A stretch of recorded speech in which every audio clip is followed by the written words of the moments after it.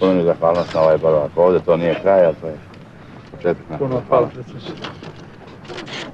Ti si izašao iz eh, prostorija Crvene zvezde Tako je bio. i ti vidiš da neko na tvoje oči puca na nekoga. Ubija čoveka. A ja sam tad krenuo ka kolima. Čujem neko pucanje. I zaista, pet minuta pre obezbeđenja, Arkan je sam dotrčao, ja otlučavam, Juga sam nekom vozio, ja otlučavam kola. Jarko me pita, ko je pucao? Pa rekao, nemam pojma. Kaže, brate, bre, pucali su, kaže, u mog kickboksera. Pa rekao, moguće, čuo sam da je bilo pucano. Posle pet minuta dolazi obezbeđenje, dolaze svi ostali. Sam je dotrčao. Ja skamenjen, ali pazi, on kako je pucao u njega, on je a, odmah skočio u neki, neku belu ladu, šta znam, i pobegao. I čovjeka legao. I Arkan dotrčava tu. I ja šokiran, gledam u tom pravcu i dotrčava sam Arkan. Gleda, gleda i pita me, ja kažem, pa ne znam, bela kola, ne znam. I on se, tad je bio mobilni, i on zove Rođu. Rođu Đorđevića, načelnika javne Ja, bezbednosti. i psuje mu majku najstrašnije na svetu. Sram te bilo, moje borce da tvoji narkodileri, sram te bilo, bla, bla, bla, bla, bla, bla. Ja sam bio šokiran kako Arkan sme da priča uh, sa generalima policije. Oni su bili mali deca. Mala Ko je deca. bio ubijen? Ubijen je bio, a, nažalost, kickbokser Crvene zvezde. Ja sam to gledao, išao sam ka kolima, gledao sam to ubistvo. Prvi put u životu sam video kako izgleda ubistvo. Oni su se nešto svađali, ja sam, ja uopšte nisam gledao u tom pravcu, išao sam ka kolima. Kad sam čuo pucanj, ja sam samo video kako se ovaj hvata za stomak i pada i ovaj utrčava u automobil. Ali po pusnju, po zvuku, sam shvatio da on pucao u njega. To je bilo ispred zgrade Crvene zvezde, ispred E, stadiona zapadna tribina, bravo. i ispred. Arkanove kuće. Tako je. Za minut je dotrčao sam Arkan. Posle pet minuta je dotrčalo obezbeđenje, Bora Pelevi, svi su došli posle pet minuta. On je sam dotrčao.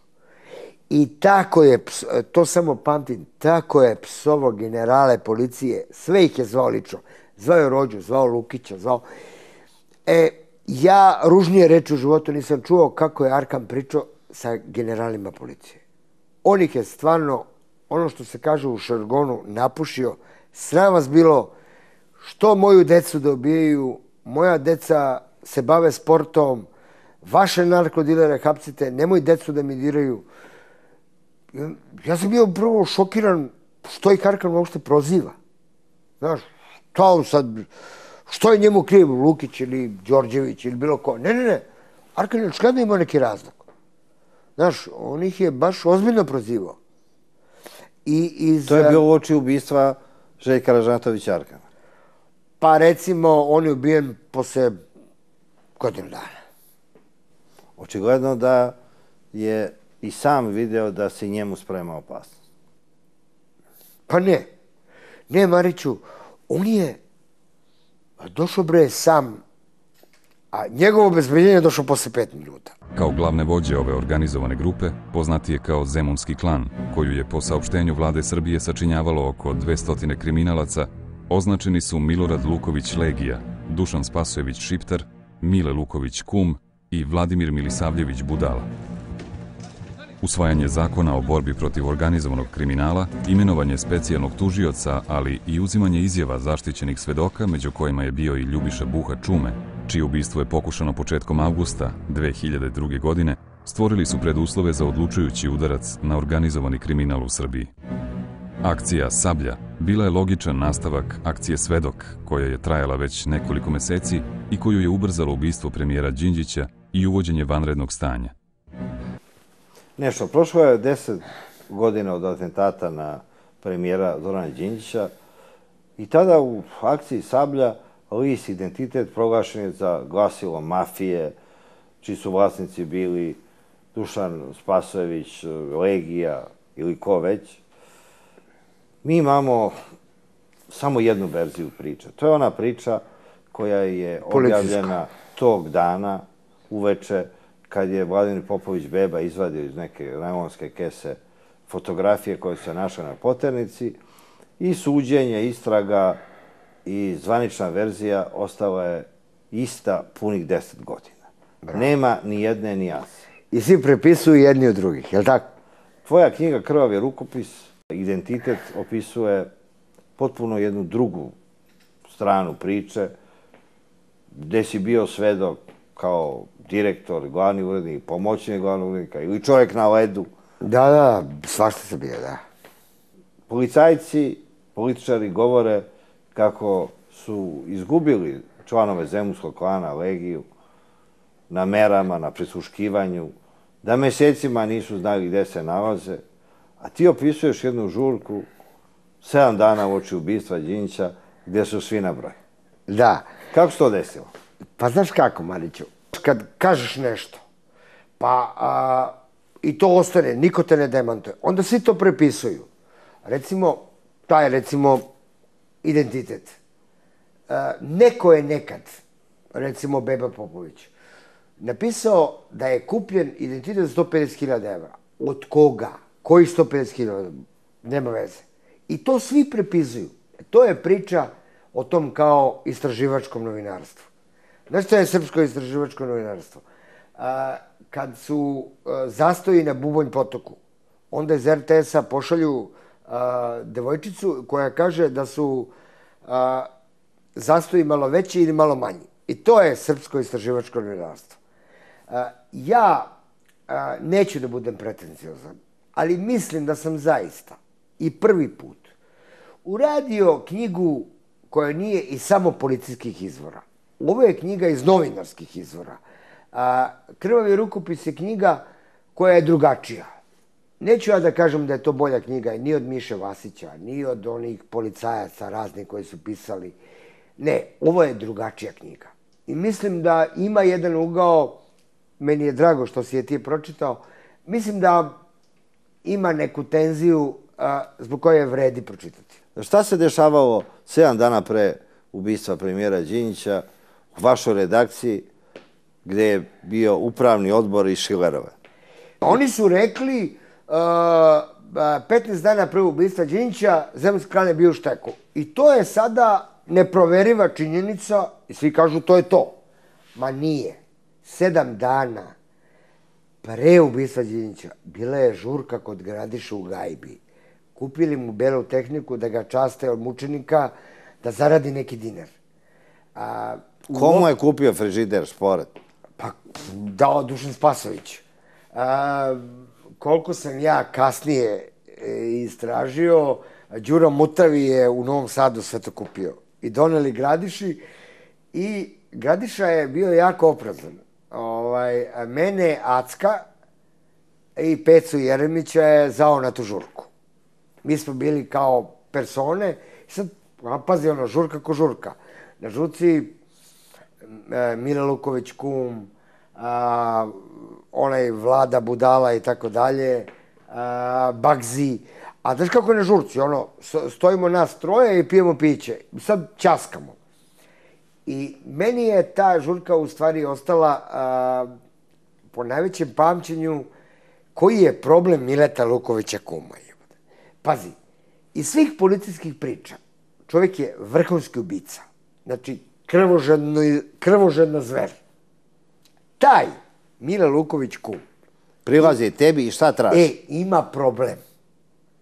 Ima problem, a, njegova žena je jugonostalgičarka. I on meni traži da idem u Zagreb, da radim intervju sa e, Sašom Zalepuginom, Željkom Fatorini, Olivarom Lakarom i onaj svetski pisac Željko a, Malnar. Bravo. P- pritom, ja uopšte nisam, naravno, ni svestan sad, čuj, Mile Luković kum, to sve saznemo kasnije, ja vidim da je oštar tip, ono, ali normalan sam prema njemu. Ja kažem, brate, bre, ko će me čuvao u tom Zagrebu? Mi kaže sjajnu rečenicu. E, mnogo si bezbedniji u Zagrebu nego u Beogradu ako ja to hoću. Ja sam se smeo tome, kasnije sam saznao da je to stvarno istina. I on tebi kaže da se javiš nekoj novinarki Da. e, Hrvatske imaju- televizije koja radi nešto s njima. Pa ja imam, a, meni je on već sredio da spavam u esplanadi, da me novinarka hrta vodi. Pa to je fantastična jedna priča. A ja, pazi, koliko je to bezazleno, ja kažem, ba nema bre ni produžen pasoš. On kaže, čuj pasoš. Pa da ću, da ću ti tri pasoša sa utro ujutro, bre. Koji ti Na treba? koja hoćeš imena. Nećeš valjda da putuješ u Pa Zagreb da. sa svojim imenom. Bravo, i samo sam imao jedan problem. Rekao je, nemoj da muž, ova iz Krta je devojka našeg druga. Ali ima ona drugarica. Bakam, dobro, nije dotle došlo. A računam, Zagrebčanke vole ono, beogradske mangupe, proći ću. A, šalim se, ovaj, ja ušte nisam shvatao koliko su oni moćni tada bili. Znaš, mi uopšte, mi smo njih zvali ovaj, upravni odbor. Upravni odbor iz Šilerova. E, bravo. Ti imaš jednu divnu anegdotu, ovaj, a po gradu se znalo. Ima u knjizi je jedan divan moment. A, ja sam išao čak i u osnovnu školu s ovim Đogani Fantastiko. ovaj, Znaš, Đogani je u šestom razredu treći put ponavljao istoriju i morao je da napusti osnovnu školu, ali bili smo stvarno sjajni drugari. Interesantna priča, sedimo u redakciji, dokono, izašla novina, ono, pijemo kafu, ono, i dolaze uh, Đoganijevi, oni, 3Fiks neka ekipa, i kažu, ko je bre on nama objavio ovo ono? Sad mi kao, pa, šta bre ovo ono? Kao, i seti se, ona je katastrofa žena, ali je tad je odigla sjajno, Dragana Tripić. Kaže, što nas, brate, daviš, što se ne javeš gazdi? I on kao, a ko vam je gazda? I tad je na naslovnoj strani uh, Blitz Newsa bio Legija. I ona kaže, pa ovo nam je gazda, što mu se ne javiš? Iste sekunde su zapalili. Pobegli. Ovo, I mi smo tad u stvari posredno saznali da, Da vam je Legija moć. gazda. Da, da imamo moć. Oni su tako pobegli. Ti ne možeš da veruješ. Mi smo shvatili, pa mi, mi imamo moć. Legija, do... a pazi, a šta je tada, evo, ti se sam Vi ste bili nezavisni list.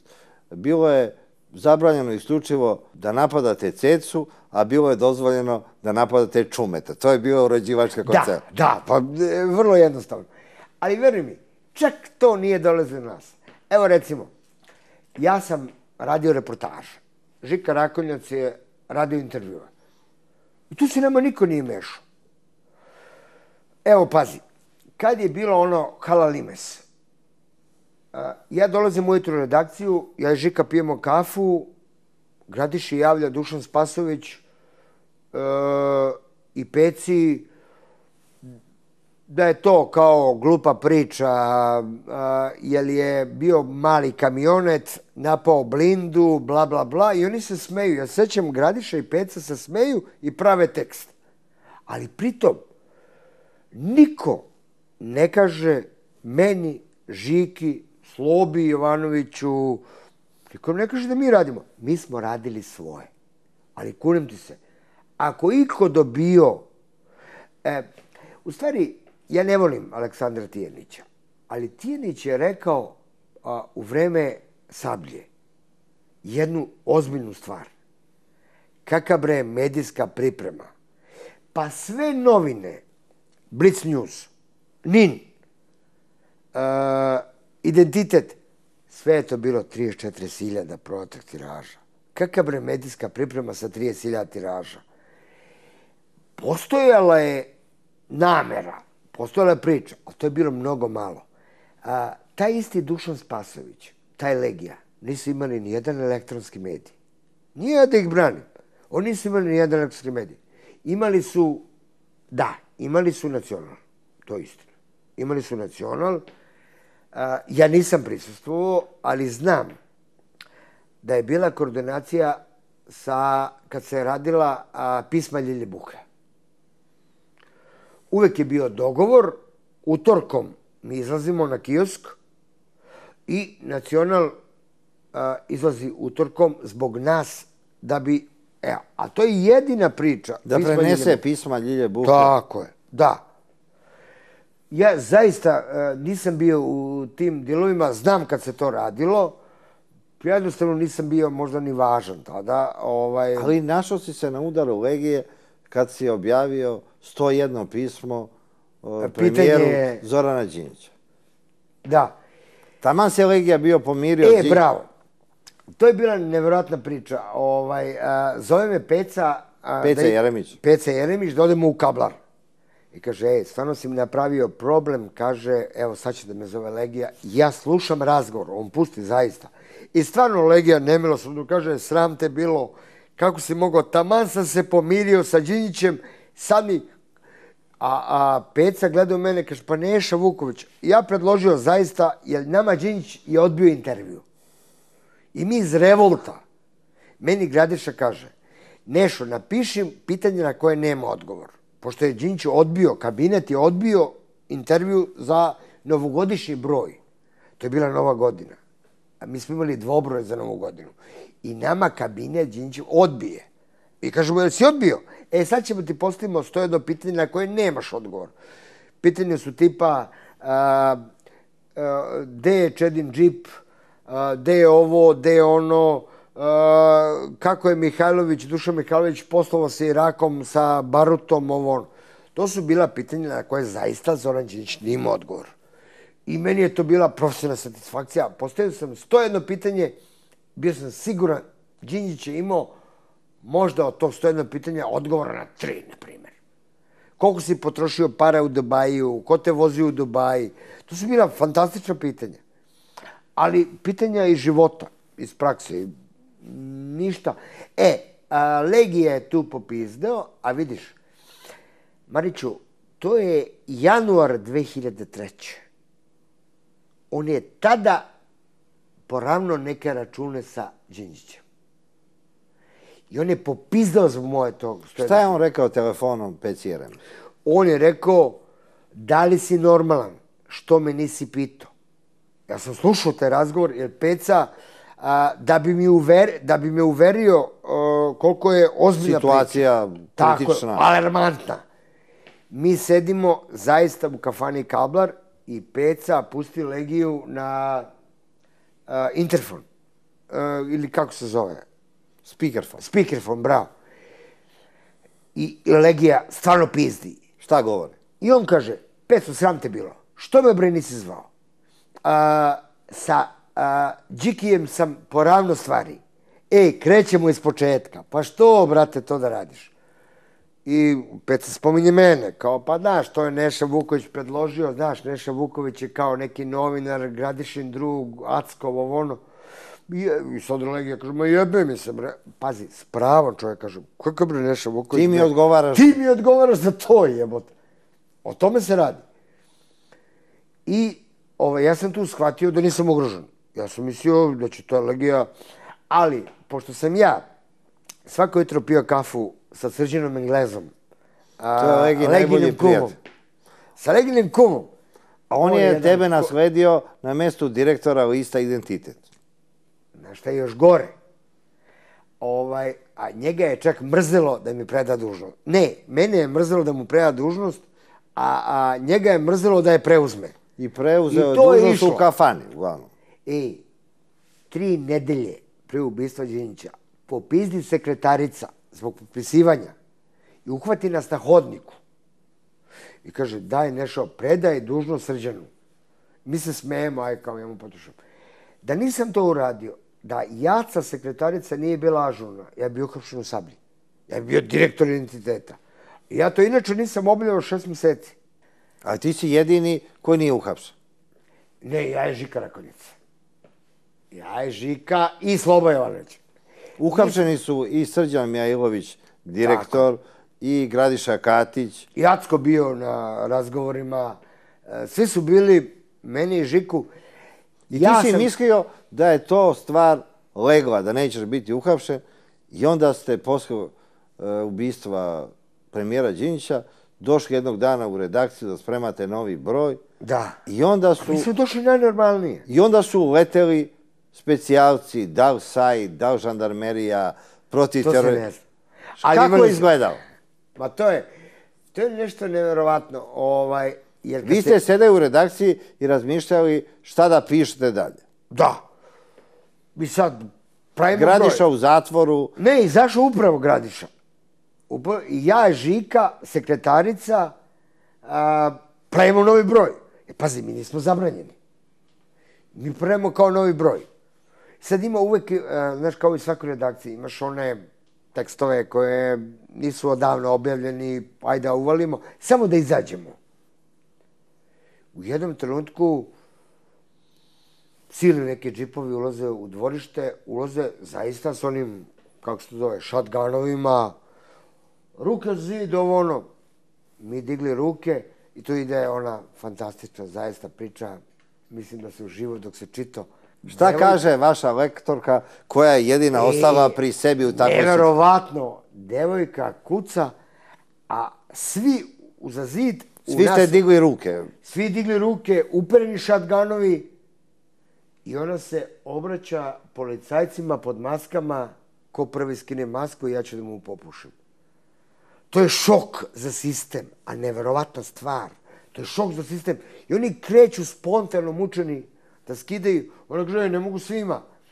E, neverovatno je koliko je devojka od 21-2 godine imala, imala Jedina je bila prisebna u toj... prisebna je. I oni su počeli da se smeju, a došli da vas hapse. I taj smeh, taj smeh je u stvari razbio strah. To je bilo strašna priča. Izvini, prvi put u životu je neko u mene uperio shotgun. Ne znaš zašto. E onda, kad su oni nama... Ali, pazi, i njih je neko namestio. I te jadne policajce. Oni su došli da hapse tiraž. I mi kažemo, pa ne postoji tiraž u redakciji, tiraž je u štampariji. Ne, ne, ne, oni su došli da hapse tiraž. Kažu, gospodine, aj pozovite nekog vašeg šefa, ne postoji tiraž u redakciji. U redakciji je priprema za štampu, a mi to šaljemo u štampariju pa se to... Ne, ne, ne. I e, neki brka policajac koji iz e, pesme Đoke Belašević, ono, Brkati major, zove sad nekog tipa, kaže, ovi ne daju tiraž. Mi kažemo, gospodine, ne postoji bre tiraž. A, I onda nam da neko rešenje, potpisala je Nataša Mićić i Lečić, antidatirano, za tri dana stupa na snagu. I to jedna glupa... Taj broj nikad nije ni oštampan. Nije. Bio je gotov. Ovaj, bez veze. E, ja u stvari i ne znam ovaj, zašto je taj identitet zabranjen. Zašto je zabranjen identitet? Zabranjen je zbog naslovne strane. Na naslovnoj strani posljednjeg broja identiteta piše ovako. Đinđić, meta slobodnog strelca, Srbi iz Bosne naručili ubistvo. Je li tako? Bravo. Bravo. Nevjerojatna stvar. Odakle taj tekst? Ja sam u knjizi objasnio. Ovaj, prvo i prvo. Ovaj, e, mi, mi smo imali ugovor sa restoranom Sinđelić. Kad završimo nedeljom i pošaljemo u štampariju tekst, idemo svi da jedemo. Prvo, ta smo žurili. I tad smo Žiku napenali, ajde Žiko, izvuči nas, izvuci naslov. Prvo, znači, Žika je izvukom naslov na brzinu. Druga stvar. Ti kad vidiš taj tekst, to je tekst star godinu dana. To je ona priča Laufer, Maksa, špijuni, javili Šešelju i tako dalje. Svi ti tekstovi su bili u svim beogradskim redakcijama, to je Šešelj dao. I te tekstove niko nije smeo da objavi, mi smo ga objavili. Ali to je nešto što je postojalo već godinu dana. Znači, to, to Ali taj nikakve- naslov na naslovnoj strani izašao dva dana uoči Žika ubistva je onda veštica. Žika, Rakonec je veštica. Žika je napravio... Nikom ne da- možete da dokažete da taj naslov Pa, nije Pazi, najava atentata na Đinđića. ne, to je nenormalno. Pazi, Đinć je bio u sredu, a u utorak naslov Đinć meta um, Haškog lobija, anti-Haškog lobija i tako da. Pazi, to samo veštica možda uradi. A to je vam pameti. Radi se o materijalu koji godinu dana kruži beogradskim redakcijama i niko ne sme da objavi. Koji Mi- će kasnije biti objavljen u knjigama Laufer mi je javio. jedan Da, da, da, ali to nema veze, majke mi. To totalno bez veze, mi smo žurili bre da ručamo u Sinđelić. Nema veze. Svi su oni, a, da bi a, Nemačka fondacija Ebert naplatila em, 500.000 evra da analizira Medijsku pripremu za ubistvo Tako je, premijera oni Đinđića. su onda izvlačili, a, a, izvlačili kao veliki nauk, kako se desilo. Pa što nas nisu zvali? Alo bre, žurili smo u Sinđeliće na klopu. Ali evo, ti si u knjizi ponovo čitao komplete identiteta Da. i iz tvoje knjige se vidi neka logika od preuzimanja identiteta od strane Dušana Spasovića, Legije i Teki. Pa Kad si ti saznao da se menja vlasnik identiteta? Prvo, Ti nisi ni znao ko je kupio. Majoko. Znaš kako? Ovaj, kad sam ja drugi put postao glavni urednik identiteta, u stvari ja sam bio direktor. Nisam teo baš da budem i drugi put. Bio sam prvo glavni urednik, pa sam posle bio direktor. Znaš kako? Ovaj, ja znam, Acko kao gazda, Acko je pregovarao sa Matkovićem iz SPS. Dušan Matković, bivši Tako direktor je, Sartida. Sartida. I u stvari, samo je Matković bio u igri. Nije postojalo ništa drugo. Jednog dana ovaj, zvoni mi telefon, ja sređujem tekstove, izlazi broj za dva dana. Ja sređujem tekstove, dajem peci, pusti ovo, pusti ono. I kaže mi, Jacko, dođi u kafanu preko puta da upoznaš novog gazdu. Sad ja računam da upoznam Matkovića. Pošto je Matković jedini bio u igri. Ja uzlazim u kafanu preko puta, vidim sedi Acko, sedi Sloba Jovanović, sedi Gradiša. Ja kažem, dejem bre, taj Matković, šta on glumi gazdu, opet kasni. I a, Acko i Sloba se smeju i kažu, evo ti ga gazda Gradiša Katić. A Gradiša Katić bio honorarac kod mene u novini radio ono za 20 maraka. Sad, pazi, neko ko kod tebe radi za 20 maraka, ti je gazda. Meni normalno šok. Da se isto mali poštujem. Gradiša već sutra ujutru kaže, nećemo biti ID, bit ćemo identitet, a Legijin kum a, Srđan će biti direktor, nešto ti ćeš biti pomoćnik glavnog urednika. Ja kažem, e ti ja trebam. Trebaš, brate, kaže, jesi zadovoljan s platom? recimo u današnjim parama, šta znam, 700-800 evra da budem pomoći glavnog urednika. Ako kažem, to je okej. Rekao je, mogu ja još nešto radim za te pare. Kaže, bilo bi lepo da radiš neku reportažu i neki intervju. Ja kajem u redu i ja tad dovedem Nebojšu Medovića da radi ekonomski komentar i dovedem Dragana Kojadinovića, moje drugare, da radi TV kritiku. Znači, da nije bilo tebe, Nebojša. Medović nikad ne bi radio za Zemunski klan, što mu je, E, to je smrtna nevjerovatno. presuda i ne može u Crnoj Gori da se To je kandiduje ni za šta jer je on plaćenik E, Zemunskog klana. Sad ću ti ispričam, ja sam to i u knjizi ispričao. Ja sam Nebojšu Medovića, on je jedan sjajan tip, ovaj, eh, pravi ono frajer, eh, voli da cirka, da klopamo, da se zezamo. On je sjajan jedan tip. Ja sam njega upoznao u sindikatu nezavisnosti. I on je meni rekao, Medović, On je bio i član G17 tad. Pa da, bre. Ali ne, ne, nije on volao Dinkića ni tada. On je bio dosta pošten tip. On je mrzeo onu privatizaciju Dinkićevu. Znaš, on je bio dosta korektan. I, ovaj, on kaže, slušaj, a, sviđa mi se ova tvoja novina ID, a, mogu da radim ekonomski komentar. Ja kažem, To možeš... se zvalo ekonomalija. ekonomalije. Ja rekao, slušaj, nema para. Ma kaže, ja ću tebi da platim pred, samo da... Samo da pišem. Samo da pišem, jer on je tada a, savjetovao sindikat Frikoma, još nije bio privatizovan, a, Hemofarm, Zorku Šabac. Ja sam s njim išao na puteve. On je tražio da idem svi na puteve da jedem i da snimam situaciju kako je raspoloženje u publici.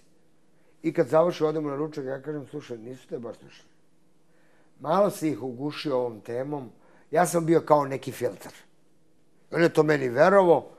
uvek smo se dobro provodili i nikad nije naplatio. I meni je zaista posle krivo prozivaju Medovića da je radio za Moskvan. On je bio jednom stvarno u redakciji. On je slao, a, ovaj, a, mailom je slao tekstove. Je upoznao Medojević Legiju, Spasu? Ne bre, upoznao Acka samo. Acko se oduševio. Znaš, e, Medović Ko je Acko zapravo? Znaš ko je Acko?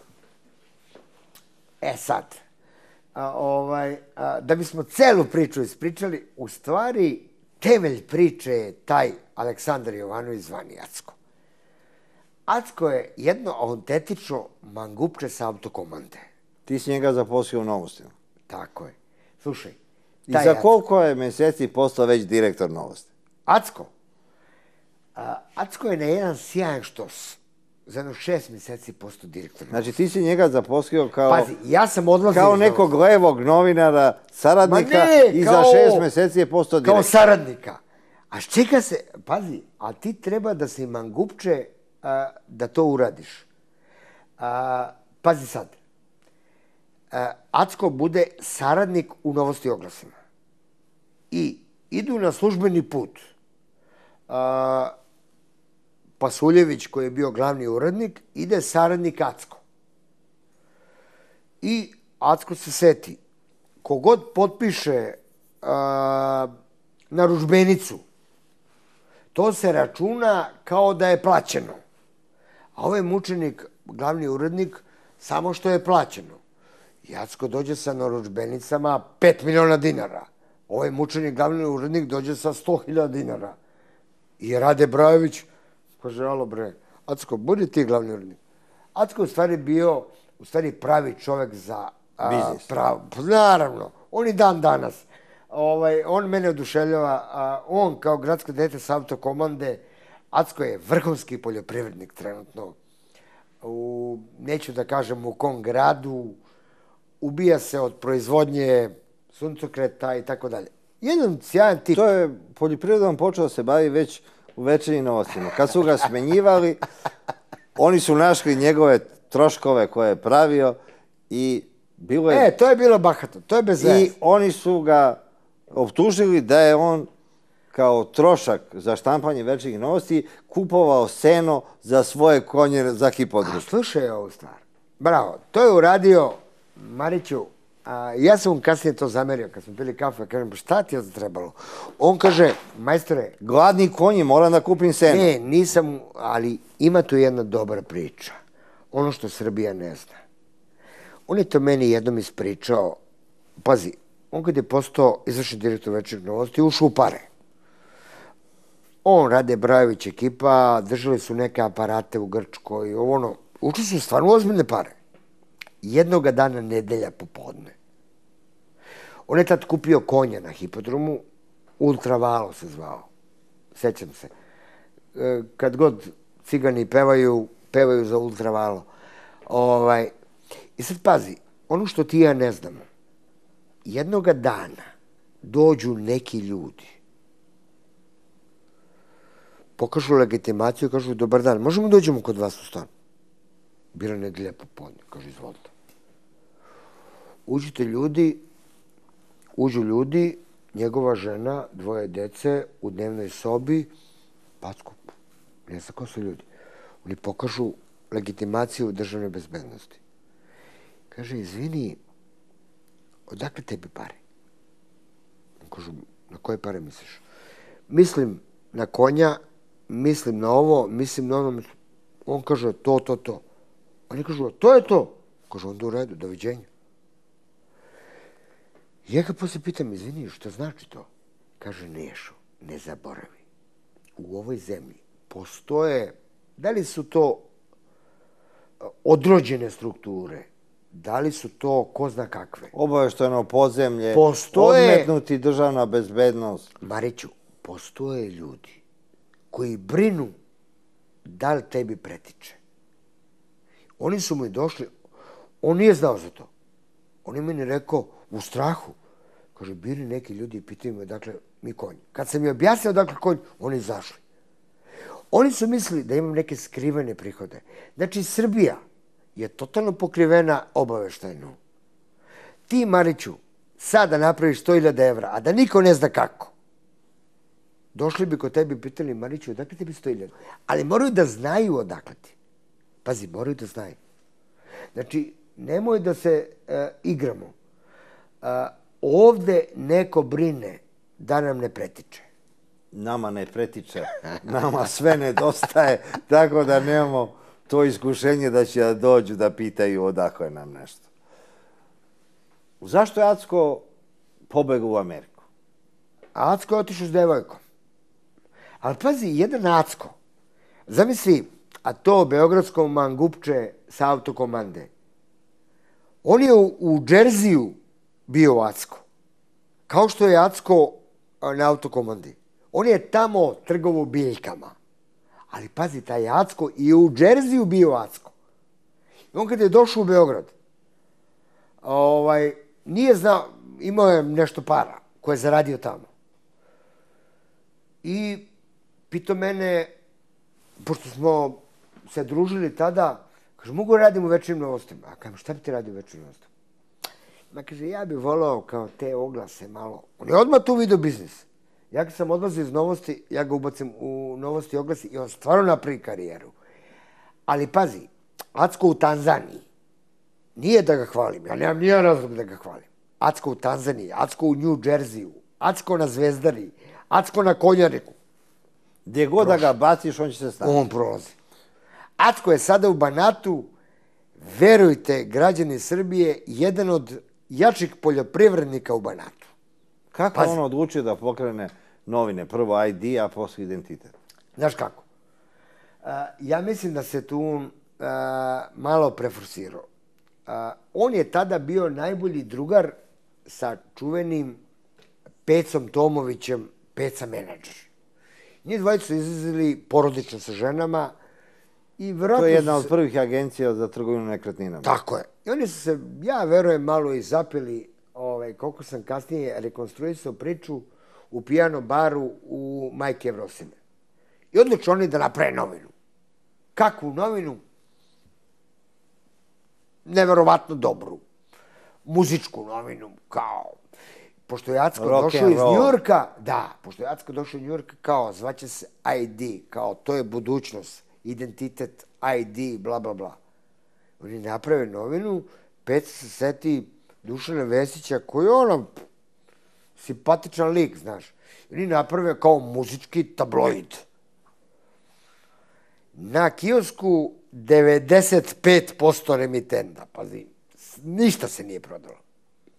E sad, pošto su i Jacko i Peca kočeviti likovi, oni, da im se ne bi smeo grad, a pogotovo Pecin tada najbolji drug Aleksandar Tijanić, koga Peca Tomović vodi u Cancun. U Meksiku. Tako je, vodi ga o svom trošku. Ja to samo Da znam iz latinoameričkih serija, ne znam Da, da. E, i sa njima frka ovaj, pukli su. Oni zovu, brate, pukli smo, evo, gaće su na kolenima, pomagaj. Ja kažem, nema bre filozofije. Ove, radimo politički tabloid, mora se dignemo, šta? To je vreme posle 5. oktobra. Pa da, još posle 5. oktobra, pazi, Acko, bombona, čist, Peca Tomovi, čist, Tijeni suflira iz kafića Telor, a, Peđe, po, svi bomboni. Ne, tad se bila Srpska akademija nauka preselila u, kaf, U kafe Taylor. Taylor. Tako I tu su čak i akademici dolazili da bi bili u toku sa istorijom Srbije. I oni mene zove i kažu, brate, ono što ti, ja Mariću, jako često, jako redko čujem u životu, para ima, radi.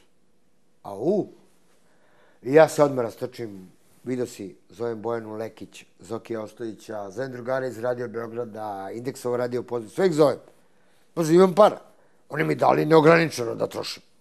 I angažujem Žiku, Peru, Lazu, zaista uh, zovem vrh, zovem, ako ti kažem da je za mene tajno radio zamjenik glavnog urednika Blica, sve sam ti rekao, tajno. Znači, toliko sam imao para. Koliko ti obećam, toliko ti donesem sutra ujutru u kafani, daj mi tekst. Jedino te Tijanić odbio. Pa ne, ovaj, uh, ja i Tini smo imali jedan drugi problem. Uh, ja sam molio Boga da me odbije. Znaš zašto? zato što je on bio na platnom spisku kod Pece Tomovića. Pece ga je finansirao.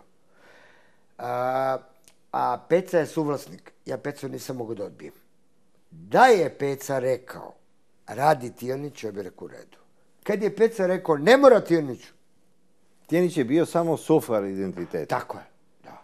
Šta je on vama suflirao? Da budete protiv Đinjića na strani Koštunica. Pa znaš kako, ovaj, e, slagaćete. E, dođe neka ideja u redakciju. Ja ne znam saista da li je Tijanić. Ja sam prepoznao neke tuđe ideje, a Tijanićeve baš nisam prepoznao. Dođe, recimo, Peđa Popović da popije kafu i kaže, imam ideju. Ja kažem, koju ideju? On kaže, da radimo bla, bla, bla, to. Pa ajde, radi. A o čemu, šta kaže? Pa, na primjer, uh, o Kosovu, o, šta ja znam, neku temu. Ali ništa nije meni bilo uh, simptomatično da bi prepoznao Tijanića. Peđa je bio kurir Tijanićevi iz Da, Taylora. Peđa Popović je bio kurir, da. On je bio mali sa palube koji je sedeo sto pored. I primao zadatke od Da, Tijanića. u Taylor. zadatke. Ja sam mislio e, da su oni naumili, pošto sam ja digo tiraž, ja sam sa hiljadu tiraža digo na 15.000. I to je već sad bila batina. To je sad bilo ozbiljno. E, tad se i Jacko uskurčio, pa doveo je Radita Brajevića, pa dovodi ekipu. Ja kao malo ne može, stani bre. U knjizi je objavljen jedan uh, tekst, kolumna Radeta Brajevića, koja je dugačka dva metra. Dva metra, nevjerovatno. Veća je od tebe zajedno... Pa vidio si. E, ovaj, znaš kako, ovaj, Acko ima neku On je foru- doveo sve smenjene glavne urednike večernjih novosti. Bravo. On je kao imao neki, e, Lacko je stalno, naš Lacko kad doće te zbuni, on kaže, brate, lojalnost, lojalnost. Ja kaže, dobro, Lacko, pusti lojalnost, bre, moramo i kvalitet. Ne, brate, pusti kvalitet, lojalnost. Mi smo drugari. Naravno, iza toga se krilo njegovi neki stari dilovi, da tu uđe Rade Brajević. Slobo Ivanović ništa nije imao protiv. Slobo Ivanović je dobro radio. Bivši glavni urednik večernjih novosti. Ekspresi, bravo. Ekspresa, Tanjuga, Bravo, Sloba. Pazi, Sloba zna posao. E sad, Sloba je isto imao svoje probleme, ali Sloba je znao posao. Ali kad je krenuo da mi dovodi dinosauruse iz novosti, one što su žene oterale od kuće, pa ne znaju gde će, pa došli u redakciju. I sednu, i znaš šta, e, takvi likovi ne znaju naprave tekst. Svi znaju da rade kolumnu. pišu Kako šta ko- god im padne na Pa pamet. tako, kako ko da, ja sve u kantu. I tu rizikujem, zaista. Uh, Peca uh, Tomović, menadžer, bude frajer, zna šta radim i okrene glavu. I Jacko uđe sa mnom u sukob i ja sam znao da je to stvarno pitanje dana kad ćemo se posveđamo i to je okej. I ja sam računao s tim, tad se, i u knjizi to kažem, tad se ustonavi e, telo kolegijum u zasedanju, tako neka fora. I znao sam da će da me smene, ali ja sam išao do kraja. E, Kad prvo ti ti- saznaješ da je Dušan Spasović kupio identitet? Prvo, da se razumemo, ovaj, ja deset godina pre toga upoznajem Gradišu Katića. Kao prijatelja mog prijatelja. Gradiša Katić je bio honorarac. Znači neko ko radi za 20 maraka mesečno. I sad taj neko, ko radi za 20 maraka mesečno, pojavljuje se za 100.000 maraka i kupuje. Meni je to odmah bilo a, nejasno. Bio je kafić, ja tu u knjizi opisujem, kafić Balašević. Jel, pazi, e, Jacko i ja možda svađamo koliko hoćeš. Acko meni neće da a, prećuti. E, Acko i ja se mnogo dobro znamo i nekih privatnih priča. Ja kad ga pričvrljim, kad sednemo, kažem, brate, pa šta je ovo? On mi odbrusi, ali mi kaže, Šta je on tebi zapravo rekao? bravo. Mi sednemo, ja kažem, bre, bre, alo, Acko, e, čemu bre ova farsa, bre? Kakav katići pare, bre, 80.000 maraka automobile, čemu ti pričaš? Kaže, kakav bre, Katić bre, E, novinu je kupio Dušan Spasović i dao Katiću pare. Ja kažem, za koliko para? Kaže, jebi ga, dao mi je 40.000 maraka i neko golfa i dalje sumnjiv, ne znam. A to je Još golf 20.000 koji je vozila Aleksandra Ivanović, eh, Regina žena. Meni su rekli da je to vozila Aleksandra, a meni je malo glupo da je to ona vozila. Ovaj, Ona ne bi možda. vozila sumnjiv auto. Ma naravno. Mislim, ona je mogla da vozi što hoće. Ona je čak a, pravila novine, fitness i body... A, pravila je neke razne, ona se zabavljala drugim stvarima, nju uopšte to Ona je pokrenula novine u kojima je bilo pola Svetog Save, pola li, lifestyle. Da, da, da. Ma u stvari, znaš kako, Gradiša je imao strašan problem. Kad imamo kolegijum, mi smo to zvali kolegijum, znaš, kada nam objasni neke stvari. E sad, e, Gradiša treba da nam objasni da je pevačica Bina u stvari glavna riba. Nikakva bre, lepa brena, ceca, to je ništa. Bina je dobro. Ko je bin? Ja kažem, bre, ko je, bre? Mi kažemo, to je, a, kako Gradiša to objasni, to je prijateljica našeg brata. A to je, u, onda je, onda je glavna. I sad mi smo puštali tu bujnju, kao kad nam je objasnio da je a, Lazović najbolji futbaler u Evropi. Darko Lazović je igrao Da, u Partizanu, da. a njegov... I Jeremić. A njihov menadžer bio Spasović. I on je čak ulazio u poluvremenu da i šamara Bjekovića, da stavi Lazovića i šamara protivničke igrače Ne, ali, sudiju, e, da bi Lazović bio najbolji Znaš igrač. šta je meni bilo čudno? Da jedan čovjek koji je bio visoko pozicioniran, Đura Kanister, ovaj, e, Đura u Blicu bio bre urednik sportske rubrike. I taj čovjek, Ko je Đura Kanister? On je bio kod vas. pazi, svi ga znamo kao Đura Kanister, a Đura je u stvari bio urednik sportske rubrike Blica. I I onda on za dolazi... ozbiljne pare, ali pazi, mi to ne znamo. Dolazi neki Đura kome je samo zadatak Da forsira Darka Lazovića. Tako je. A, I a, da piše tekstove kako mu je namignula Vendi. Pazi, to je šizofrena priča. I vi u identitetu objavljujete kako se Vendi zaljubila u U Darka. Lazovića po naručbini Dušana Spasovića. E, A ti u- ne znaš... E, u sljedećem broju Karleuša namignula Lazoviću da pati Vendi. Ali pazi, to je inače šizofrena.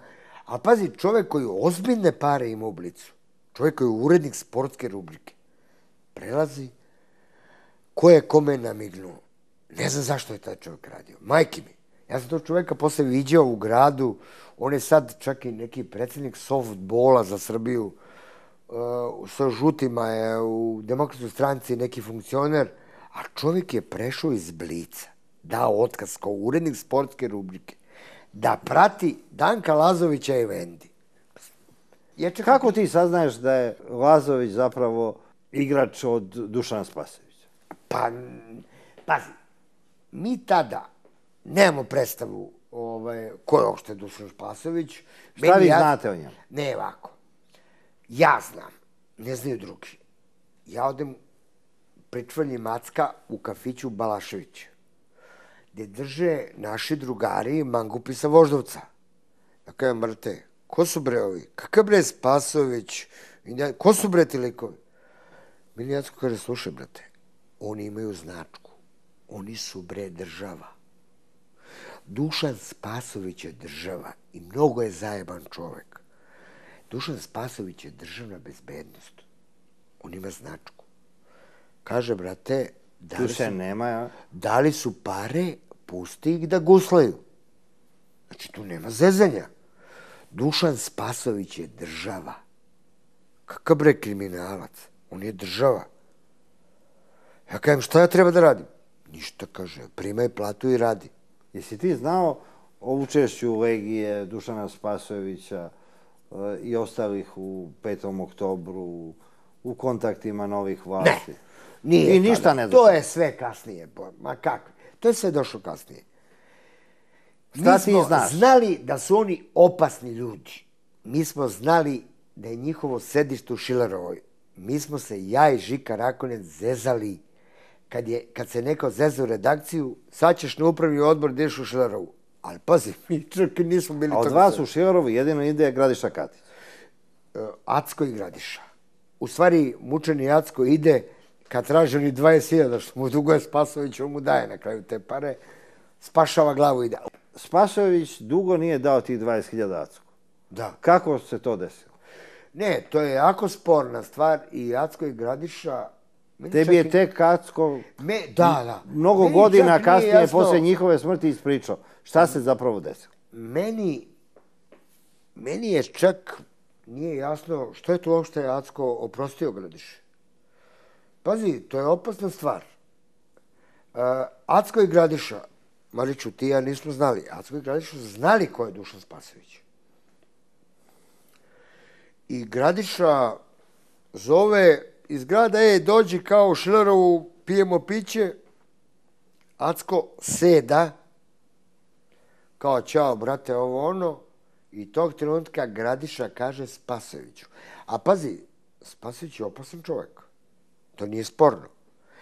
Kaže, a, brate, ovaj te ogovara po gradu da mu dugoš pare. I samo Bog šapuće Acku jedinu rečenicu koja ga tog trenutka spašava. Pazi, Spasović je čovjek neartikulisanog ponašanja. Mogu da kaže, Bagzi, vodi ga u podrum. Mogu da kaže što hoće.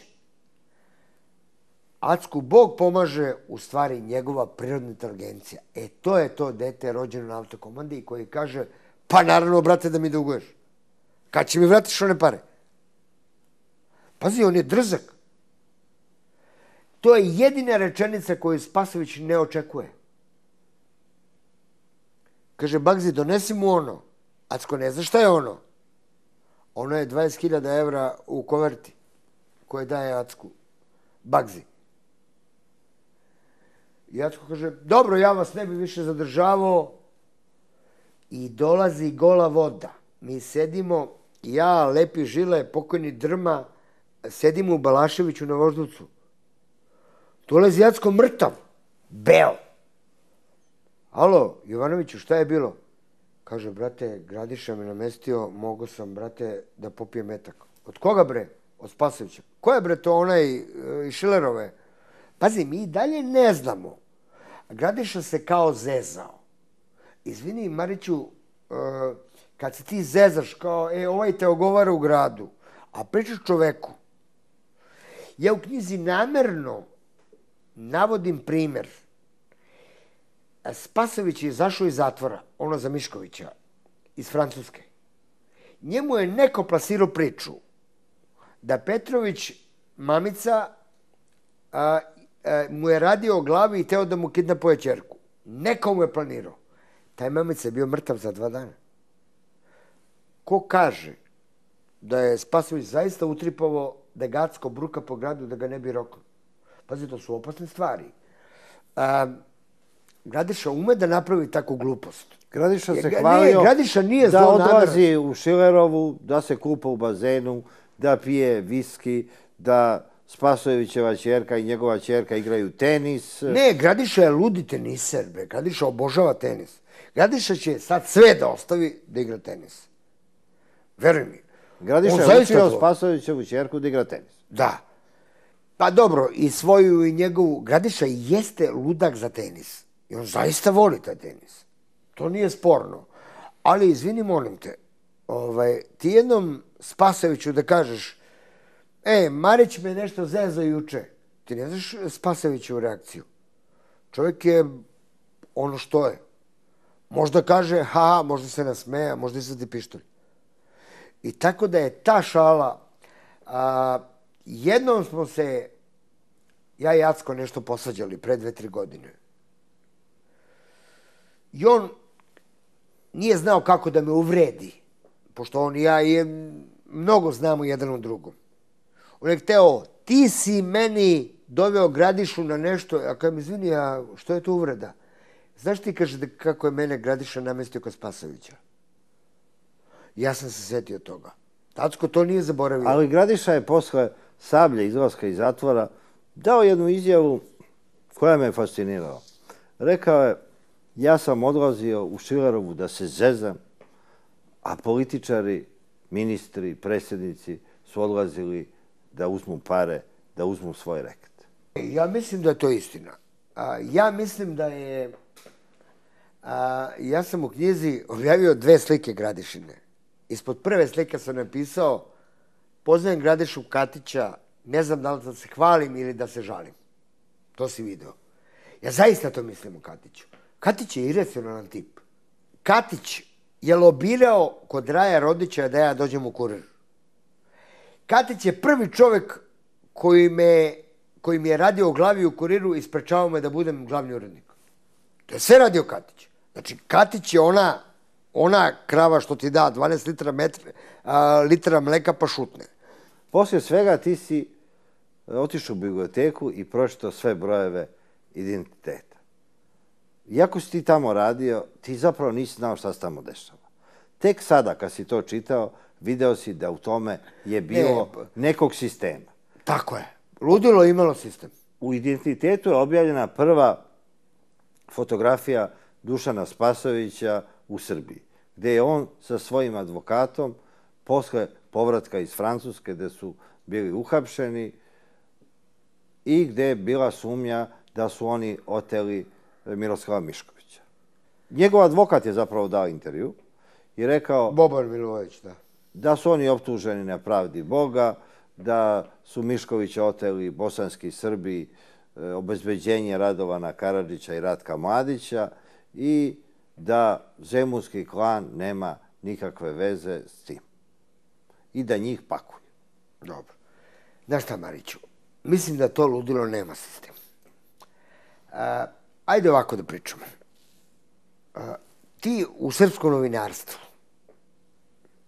imaš estradne novinare i sportske novinare.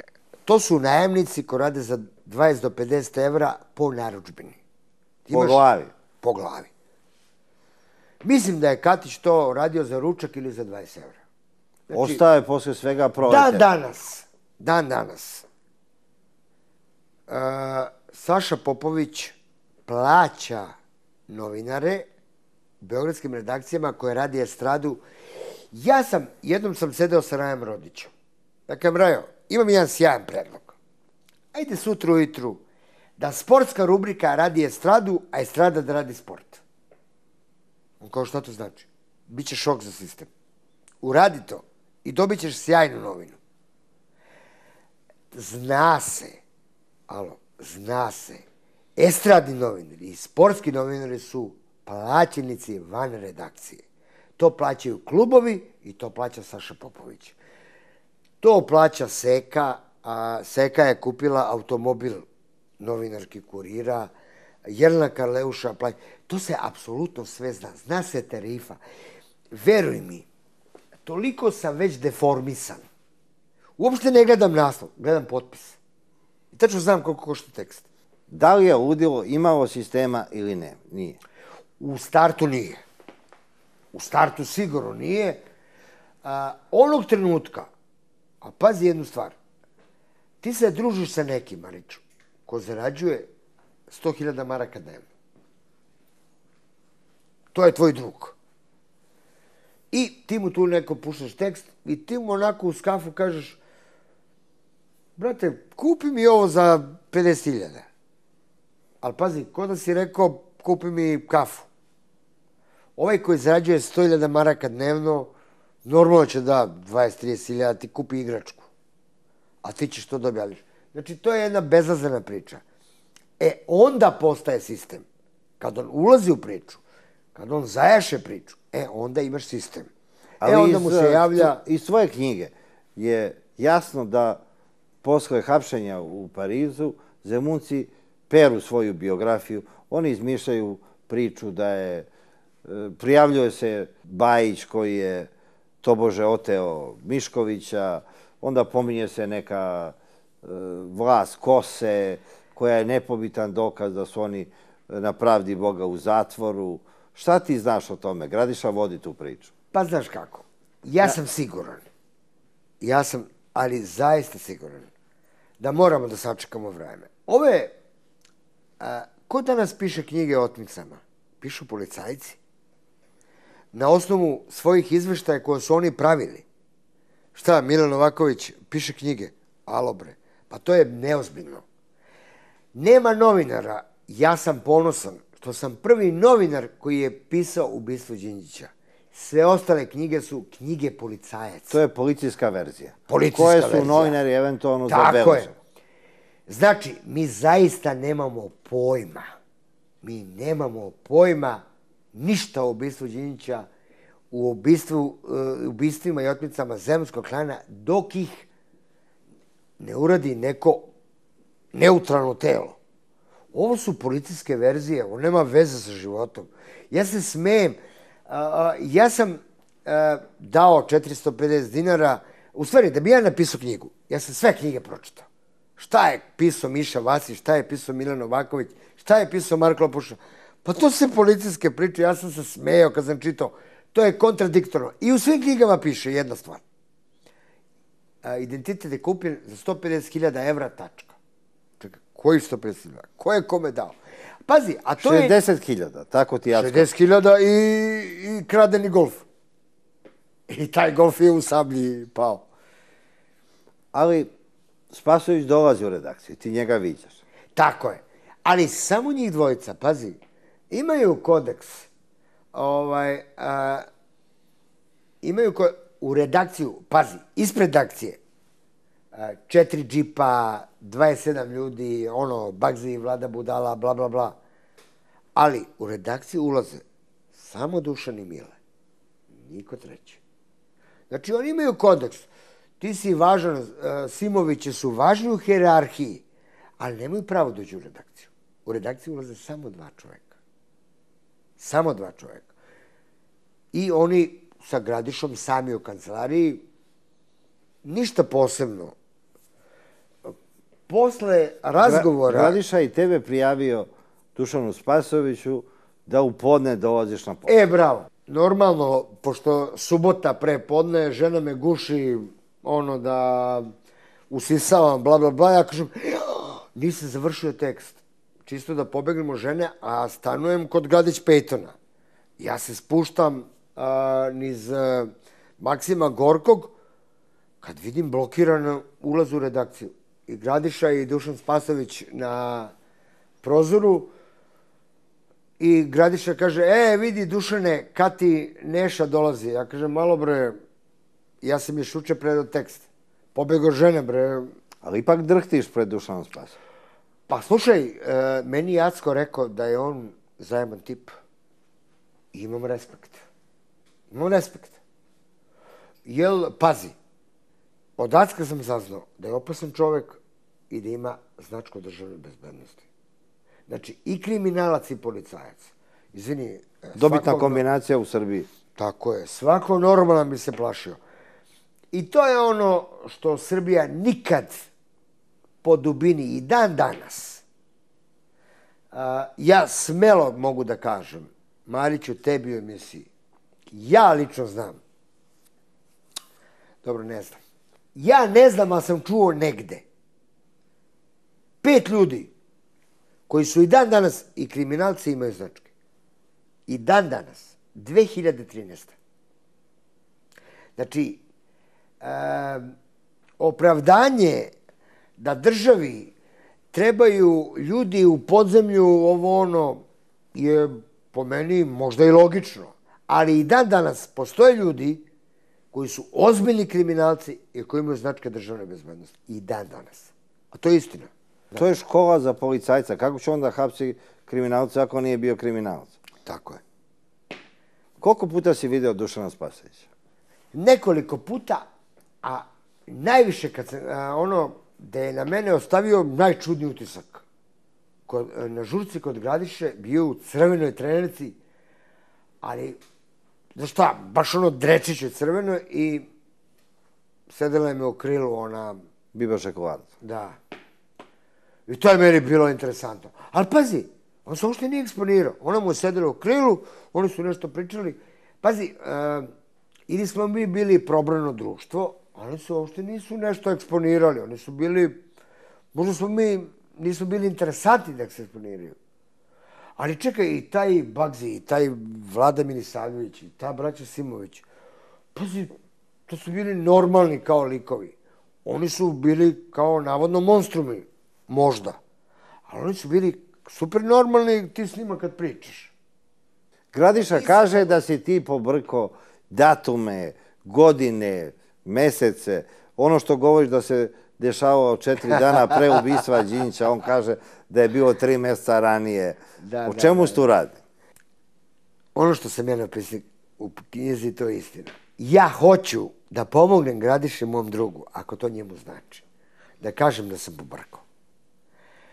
Jer, samo jednu stvar ću ti kažem.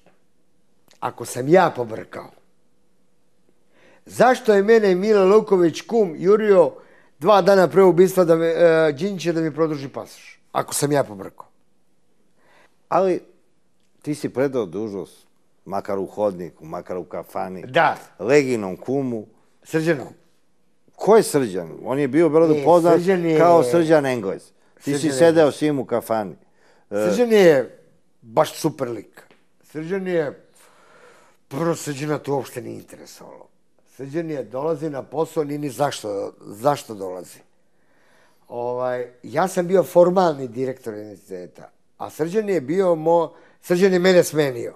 Međutim, mi nikad nismo to formalno pravno uradili. Mi smo se zezali. Srđan je a, zaista preno dve godine nešto sam imao posla neka na Novom Beogradu i sretnem Srđana, odem u kafanu, napijemo se kao majke. Srđan je jedan takav dobar lik, fantastičan. On je, pazi, Srđan Englez je legijin drug iz mladosti. Srđan Englez nema pojma ni sa ratištem. Ni...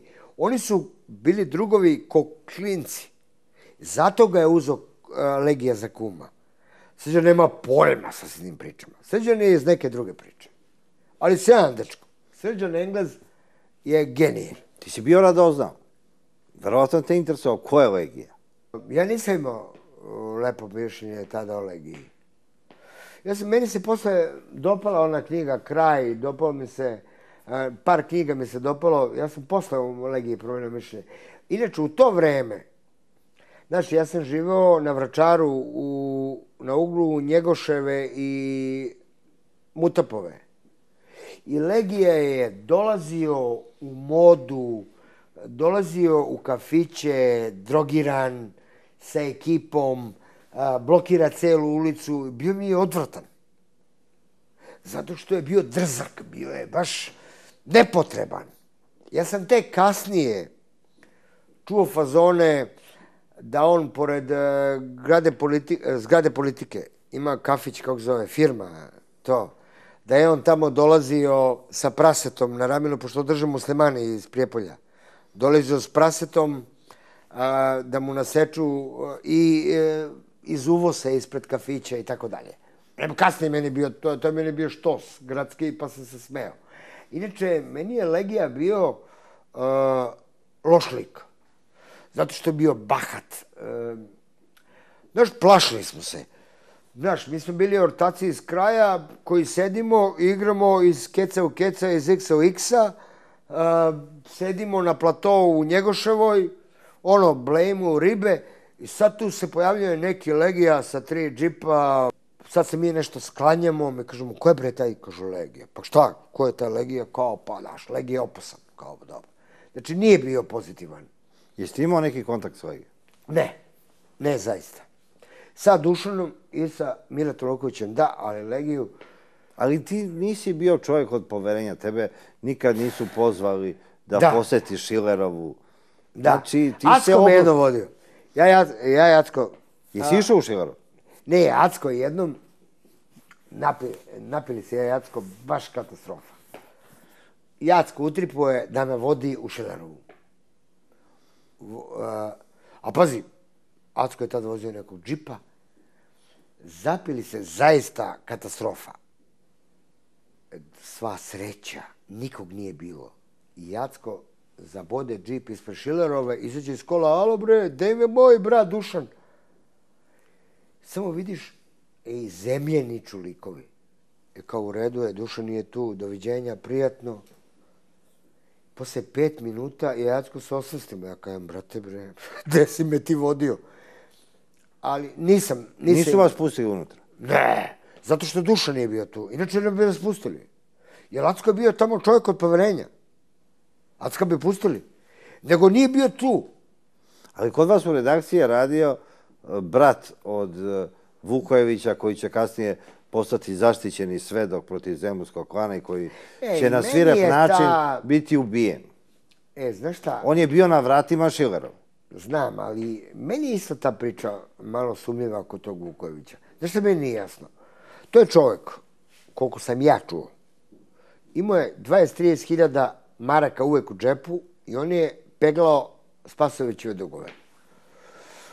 Odnesi Mariću 5000, dobar mu je emisija, odnesi snimatelju 2000, dobro je Nisam imao tu čast, nemoj da neko Čekaj. pomisli. ne, pazi.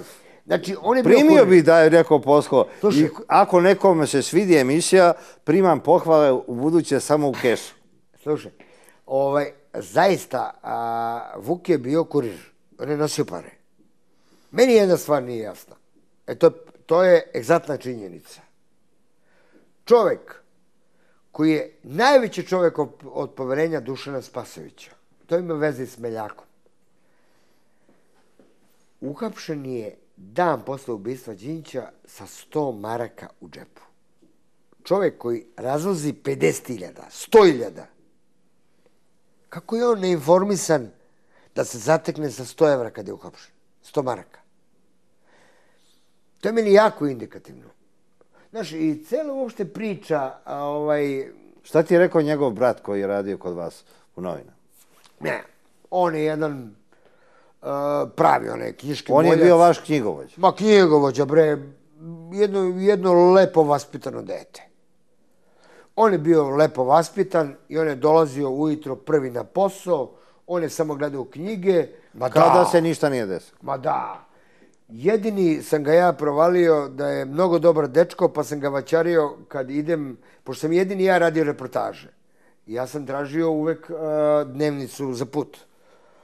I on mi da 2000, ja kažem, brate, otvori se malo. On mi da još dve, ja kažem, "Pa tako. I Gradiša kaže, kako si mu opet dao 4000, ja sam rekao 2000 za put i tako dalje. Ali to je zato što je lepo vaspitan dečko. Ono što si ti kao svedok doživeo, koliko se uklapalo sa onim što je napisano u bistvu Đinjića i sa onim što si u poverenju mogu da čuješ tokom svih ovih godina? Ja sam siguran, Mariću, ti ja imamo sličnih godina smo, ne znam da ćemo za naših života zaista zaznati e, priču o ubistvu Đinjića. Mislim da je to na nivou Kennedy-a i tako dalje.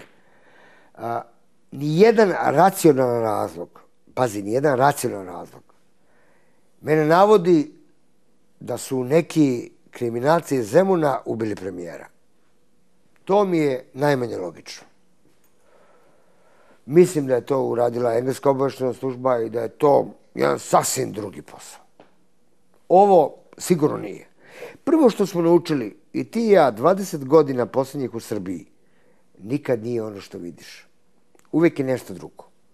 Ja lično mislim da je nešto drugo. Da ćemo mi to doživjeti? Vjerojatno hoćemo. A možda i nećemo. I uvek je on, ono nešto drugo nego što vidiš. Da. Kad si to otkrio prvi put u novinarstvu? Jesi li mogao da pretpostaviš da će tvoj mlađi saradnik u prvoj privatnoj novinskoj agenciji u Beogradu Tiker, Čeda Jovanović, postati istorijska figura? Nevjerovatno. Baš mi je drago što si me ovo pitao. Čeda Jovanović. A ovaj, zaista mogu da kažem, evo, tvojim gledalcima, to je najtalentovaniji novinar koji je ikad postao. Znaš ti kakav je to novinar? To je čudo. Čudo. Gde si ti otkrio Čeda Jovanovića?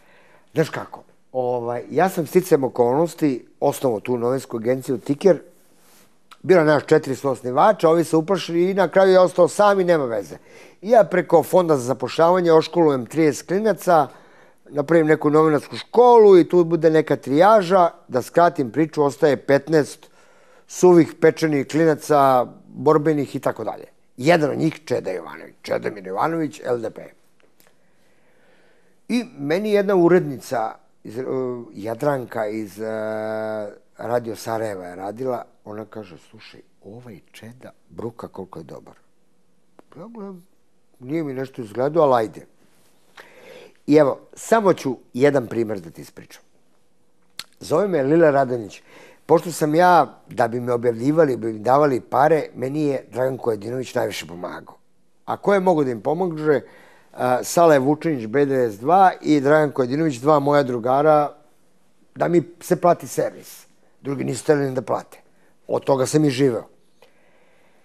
Zove me Lera Radonjić i kaže, slušaj, Dragan Kićanović, ministar sporta, podnoji ostavku. Ajde kad si tako pametan i kad si taj tvoj veliki tiker, uzmi izjavu od Dragana Kićanovića, a odmah ti kažem, to je nemoguća koska, jer Kića je podno ostavku, pozdravio se ženom i otišao u Pezaro. Kića je igrao u Skavoliniju iz Pezara, otišao u Pezaro, tamo je u nekoj kafani, pije, nema šanse da ga nađeš, ali ajde kad si ti ureko stvarno koska je. Zovem ja Turnicu Jadranku, rekao, aj taj tvoj čeda, neka uzme izjevu od Dragana Kićanovića. Znači, nemoguća misija. I šta radi Čeda Jovanović? Čeda Jovanović prvo zove 988. Saznaje da Dragan Kićanović živi u Požeškoj bla bla bla.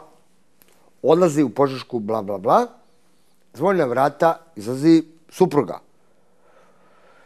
I on kaže, znate šta, ja sam Čedomir Ivanović, novinar agencije Tiker, ja bi uzem izjavu od vašeg supruga Dragana Kićanovića koji će pa kaže, kažu, pa ne, on je otputovo.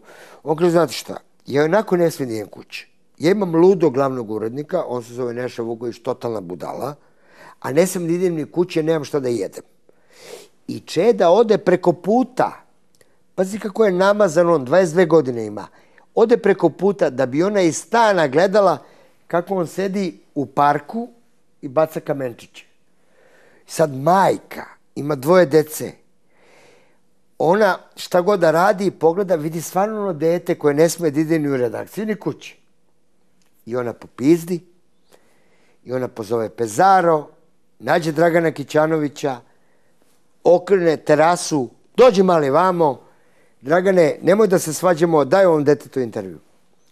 I Čeda dođe sa izjevom tipa iz principenih razloga, zato što se ne ulože dovoljno sport, bla, bla, bla, nema veze.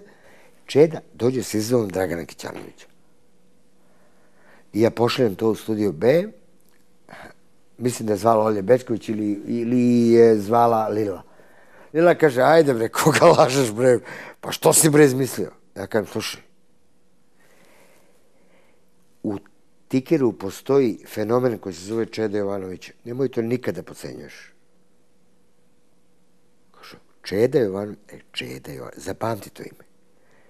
I, I oni to emituju uveče u sedam sati, ekskluzivna izjava.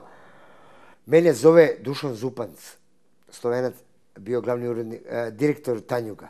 Kaže, Nešo, odakle ti izjava? Ja kažem, slušaj, postoji jedan Čeda Jovanović. Mene napalili urednici, nisam ne znao ko je Čeda. Ali kad je Čeda Jovanović postao Čeda Jovanović, ti si se našao u besparici, nude ti 3000 evra, maraka, da napraviš bilo kakav razgovor s Čedom Jovanovićem o hapšenju Slobodana Miloševića, I Čeda Jovanović je čeda... zaboravio na tebe. Nije mi, bravo, nije mi Čeda oprostio. Ovaj, znači, koliko kod je Čeda talentovan, Čeda ima feler u glavi. Ovo toga i košta inače u politici. Čeda ima feler, Čeda je preambiciozan. I ja sam morao, iako je najbolji, Čedi Jovanoviću da dam otkaz. I onda je otišao kod Aleksana Tijenića u tebe politiku. Bravo. I Čeda mi to nikad nije zaboravio. Kad sam ja bio u Besparici i jedna austrijska novinarka u predcentru, međunarodnom predcentru, ponudi mi žena 3000 maraka, ja nemam leba da jedem. Nešo, uradi intervju sa Čedom Jovanovićem. Ne računam ništa lakše, znam Čedu, mali Čeda. Nije teo da mi daje intervju, ja izgubio te pare. Ali dobro, nema veze. To je njegovo pravo. Ja se ne ljutim na Čedu. Čeda je mnogo uradio ono što sam ja radio. Nije mi žao što sam mu dao otkaz, bio bezobrazan. I to je to. Ti si jedini čovjek koji je u Belodu smjelo da priča viceve o Željku Ražnatoviću Arka. Da. Iako ti vicevi nisu ni posle, pa si morao da ih izmišljaš. A tako je. Ovaj, kad sam osnovao novinu našu Krmaču, a, neoprezno sam dao intervju za tada najtiražniju novinu zvanu Svet. I namazani Peđa Popović, ovaj, na kraju intervjua ono, dok smo jeli dezert, kao nema veze, isključio diktafon, kao nešto, vi zezete sve, samo ne zezete jednog čoveka. Ja koliko čoveka rekao, Željka Režatić Arkana? Ah, rekao, jaka stvar. Evo u sljedećem broju tri vica o njemu. Ja to izgovorih, on to zapisa, izađe svet, Neša Vuković u sljedećem broju krmače, tri vica o Arkanu. Sad nemaš nazad. Iako sam ja dobar s Borom Pelevićem, ja, ali tri vica o Arkanu. Ja dam zadatak redakciji, redakcija niko, nema ni jedan vic. Nestala im inspiracija. Nestala inspiracija, pa svima su imali inspiraciju. Ovaj, je, pazi, interesantna stvar. Izvini, sad je mala digresija. 96. godine. Jedini ko mi je pretio, prijatelj Ivica Dačića 96. Prozivao sam Slobu, Miru, Marka, Arkana, e, ne znam koga. Đinđića, ma svakog. Prvi put kad sam prozvao Dačića, a, dobio sam pretnju telefonu. Ej, 96. Interesantna stvar. Sticajem okolnosti saznao sam ko mi je pretio. Znaš ko mi je pretio? Vlada za građanin. Bili smo u nekom razgovoru kao, jesi ti uplašio kao ono kad sam ti pretio? Ko sam pretio, meni pretio? Pa ono za Dačića, ono. Kako su nastavili vicevi Arka? Pa nisam znao kako, pošto redakcija nije dala nijedan vic. Onda, uh, onda sam se setio, ovaj, pozvao sam karikaturistu i rekao, aj mi nacrtaj uh, kako Arkan igra tenis. Umesto loptice neka budu keče belo da igra tenis sa šiptarima. A kao izmišljeni intervju s Arkanom je bio, uh, on je poslastičar, a, kolači, koljači, nismo mi koljači, mi pravimo kolače, bla, bla, bla, i ja sam to vrteo, vrteo, vrteo. Koljači, koljači, kolači. Kolači, bravo. I to je ispalo jako kao duhovito, znaš. Ja kad se kao umro smeha, posle mi prišao Bora Pelević. Šta ti je rekao Pelević? Pelević kaže, šta si se bre usro? Harkan umro od sveka, bre, gradsko dete, umro od smeka. Kaže, znaš da bre odrastao na Tašmajdinu, bre, plako od smeka kad se zezao sa njim. Kaže, jedva čeka da te upozna. Međutim, on je tad morao da ide u nešto hitno u Erdut. Ja sam imao neka druga posla, nismo se upoznali. Ima jedna interesantna situacija. Ja sam u ovoj knjizi dosta pištao, pisao o Čumetu. Evo, Čumeta sam upoznao tek pre godinu dana. I jako je važno, molim te da kažem, da ova knjiga nikada ne bi ugledala svetlost dana, da neki ljudi nisu... Ima veze s onim što ću vam kažem, prepoznali ono što ja radim. A to je pre svega Željko Vasiljević i Udruženje ratnih vojnih invalida. Molim te, to je toliko važno, Mariću, ti ja možemo bilo šta da radimo u životu. Ako to niko ne prepozna, ako da li je to Happy televizija, da li je to televizija Kopernikus, da je Željko Vasiljević imao emisiju Otačbina, nema veze. A to mora neko da prepozna. Kako je on prepoznao tebe? To je e, jako bitno zbog tebe. Ovaj, znaš zašto? Sad se ti čudiš otko zbog mene. Ovaj, kad smo ostali bez posla, ja i Žika Rakunjac, mi napravimo novinu Čirilica. Da bi posle Milomir Marić napravio emisiju Ćirilica. I ja stalno molim Žiku Rakanca, mora da tuži Milomira. Ja kažem, ne, bre, tuži bre, Milomir je naš drug, bre, pa šta, ako je čovjek, ima latinica, čovjek napravio Ćirilicu i hvala Bogu da... po- Ne, ne, ne. Ali zaista, ovaj, mi smo napravili tu novinu Čirilice, ona je živjela jedna, dva, tri broja kao mesečna i tu je opet pomogao Željko Vaseljić, bravo. I on se tu našao. Čovjek je prepoznao da radimo dobru stvar. I izgurali smo sedam, osam brojeva, ali nažalost nije bilo sluha. Po nekim verzijama, ja i Žika inače nismo smeli nigde da radimo, jer smo radili u identitetu. I zaista, posle godinu dana, ja sam, recimo, ja nekad pijem kafu sa Vesom Simonovićem iz Blica. Ja tri godine ne radim nigde. Ja pijem kafu sa Vesom Simonovićem, pijem pivo. Moja žena poludi i kaže, pa dobro, kad piješ sa Vesom Simonovićem, kako te ne zaposle u Blicu? Ne, niti mene Vesa traži, niti ja umem da se nudim. To je jednostavno tako. I mi nismo, ovaj, ni Žika ni ja, nigde mogli. Mene su konačno pozvali u Frankfurtske vesti, radio sam do neki nedeljnik tamo jedno vreme. I to je jedino bilo, ovaj, ja nisam verovao da ne mogu nigde da radim posle identiteta. A ko je tebe obeležio zapravo? Žika Rakonec je istraživo. Žika je izgleda bolji novinar od mene, ja to neću da priznam. E, Žika je saznao da je Batić, Vladan Batić, skinuo mene i Žiku sa crne liste, koju je navodno uspostavio Beba Popović. Ja sam radio sa Batićevim pomoćnikom Peđom Savićem u večnim novostima. I Žika je tada bio u novostima i Žika je rekao da je Batić rekao da nikad u životu nije radio s boljim novinarnim intervju nego što je Žika Rakonac, a da ja, neko koji je osnovao tiker i našu krmoču, nisam zaslužio da budem nikako u crnoj listi. I Vladan Batić je nas kinuo sa crne liste. Hvala mu i nek mu je laka zemlja. Eto.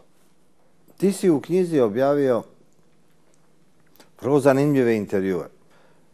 Na primjer, niko ne može da veruje da je Zoran Đinđić dao intervju za identitet. Da, Iako da. se radi o prevari. Ne, klasična prevara.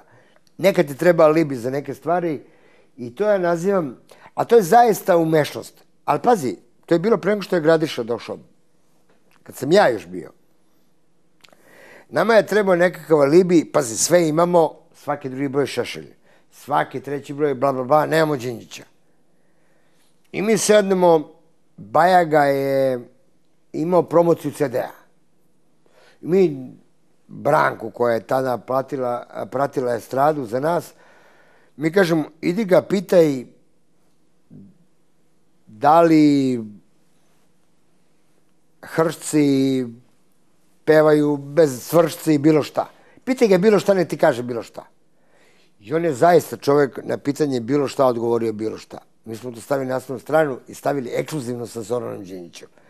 I to je nama onda bio alibi da radimo šta hoćemo. Ali pazi ti, vidiš ti, nevjerojatna stvar, to se desilo šest meseci, prema što će zemljski klan ući u novinu. Viš šta, šta ti je ljudska intuicija? Mi nismo imali potrebu to da radimo. Mi smo se zezali.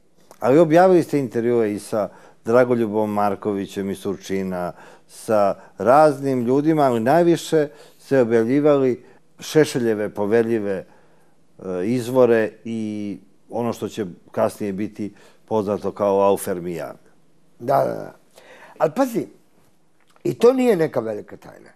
Ta priča, a, a, Laufer, ovo ono, to je Šešelj nudio svima. To niko nije smeo da objavi. I sad to ispade strašna priča. Šešelj je konferencija za štampu.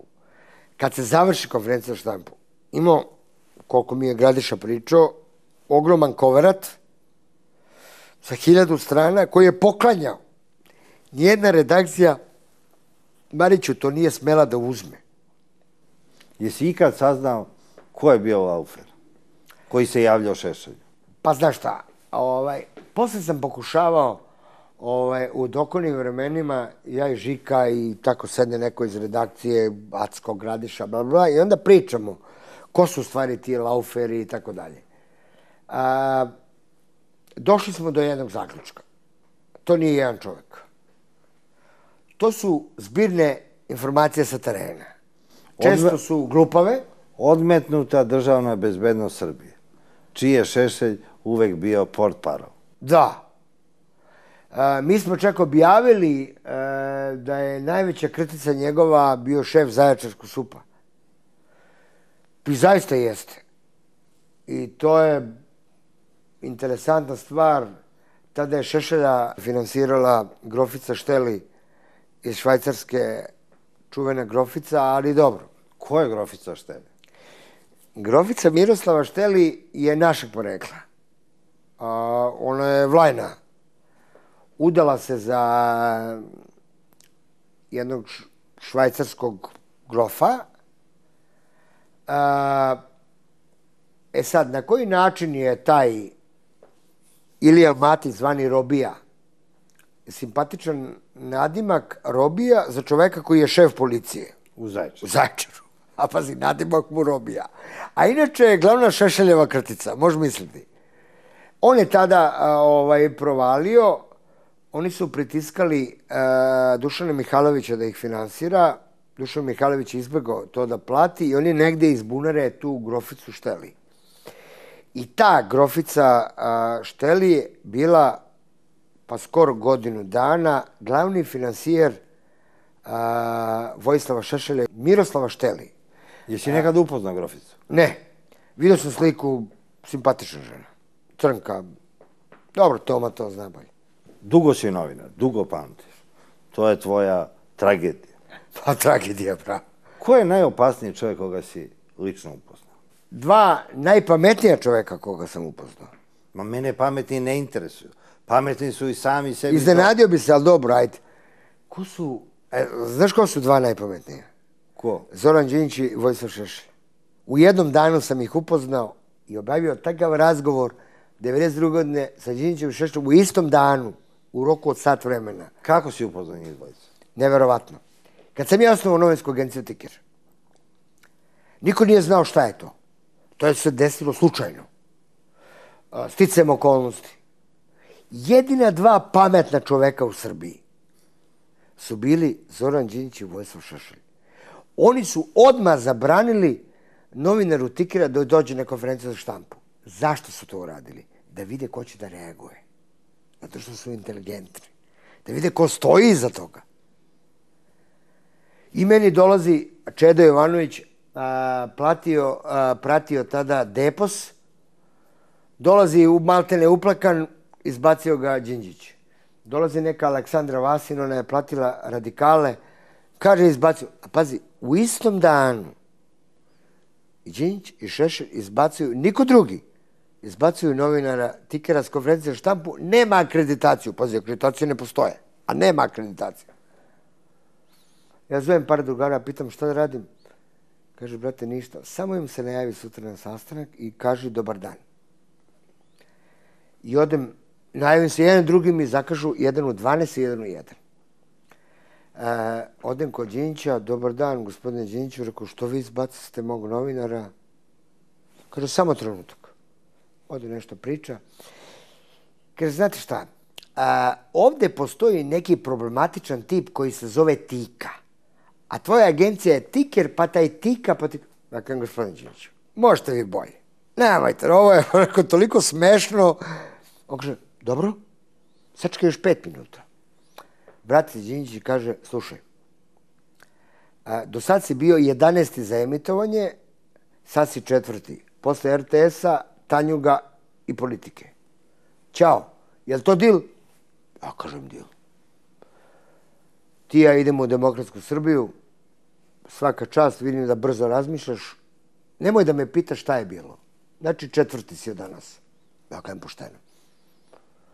Pa kajem dobar posao. Odem u Ohridsko je bio, tad je u Ohridsko je bio Šešelj, odem tamo, Pana, glavni Panić. Ja kajem Paniću, imam bre, jedan sat bre, ko Šešelja, pa kao predsjednik ovo ono, otvori Šešelj vrata i tad bude smešna situacija. Ja kažem, gospodine Šešelj, ja imam jedan sat kod vas. On kaže, ma to je u redu, a ide kafe kuvarica i nosi kako ona prolazi, on meni kažu, kako kafu piješ? Pa rekao, malo šećera. On kuvarice, dođi vamo, koliko ima tu šećera? Malo, daj vamo. I, i odmah mi unese i kafu. I sad bude loman moment. Se, sedim ja, sedi Šešelj i Šešelj odvrne stolicu i legne. Legne. Ja kažem, gospodin Šešelj, šta vi to radite? Kaže, imam problem sa kičvom. On je stvarno imao problem sa kičvom. Pa ko te, pa ne možemo ja da pričam vi da ležite. Mislim, to ne može nikako. On kaže, pa ispoštuj me kao samo, rekao, pa ja ću da čutim, rekao, popiću kafu, rekao, kad se uspravite da pričamo. A to da vi ležite, da ja pričam, to ne dolazi u obzir. I on čuti, čuti jedno pet sekundi i stvarno podigne. I kaže, dobro, ajde ti ispoštujemo. Ti ja ćemo isto koji Đinđić. Ti ja ćemo u Pa patriotsku Srbiju, ovaj demokratsku, ovaj patriotsku, mi ćemo važi, važi, važi i tako isprgam sa njima dvojicom. Ali tada sam shvatio da su to jedine dva čoveka koja su morali da te provere, da vide ko si. Znači, nisu čekali izvrštaj službe, nego su lično to uradili. E, to su frajeri. Zato sam uvek i Đinća Šešelja maksimalno poštovao kao prave likove. Oni su stvarno bili fajteri i, i, i zaslužuju poštovanje. Sve ostalo je Nešto. bla bla. Tvoja i moja tragedija je u tome što nismo uspjeli da postanemo makar kontroverzni biznismeni. Tako je. Ostali smo, evo sve do dana današnjeg, kontroverzni novinari, Da. a to je nešto najniže ovde u Srbiji. Bruk. Koliko se isplati biti kontroverzni novinar? Ma to su uopšte ne isplati. Ima novinara koji su uvek u pravu. I u komunizmu i A ti kod Miloševića. sam, pa čekaj bre, ti si sam dovodio emisiju naše kolege koji imaju garsonjeru na ruci, jel tako? Imaju garsonjeru, pa toliko. Ovaj, A ti koji imaju garsonjeru na ruci, 100.000 sat, kažu da si ti policijski novinar sjajno, koji je uglavnom bez posla. bravo. Aj da, kako ti, e, pazi, e, ja sam čovjek državne bezbednosti, sjajno. A, ovaj, najsmešnije, znaš šta je najsmešnije? Ovaj, meni je a, Tikerov a, servis otkazan u radiju u Beogradu zato što sam ja čovjek francuske obaveštene službe. I to bi bilo najsmešnije zato što nikad a, zaista nisam znao nijednu reč na francuskom. Ja sam A rekao, čekaj, pa to... kad su već pričali da si ti državna bezbednost, što nisi otišao tamo da se zaposliš? Pa, Kad si bio bez posla, bez Evo, plate. evo, čekaj bre, ja sam tri godine bez posla. To što mi je Željko Vasiljević pomogao a, za emisiju Otačbinu i to što mi je Željko Vasiljević pomogao da štampam knjigu, pa to je gest jednog pametnog čoveka i mog drugara Željka Vasiljevića. A to, to mi nije uradila ni služba, ni družba, ni bilo ko. A za 13. maj, ako se sve... Ako se sete, sete. Kraj.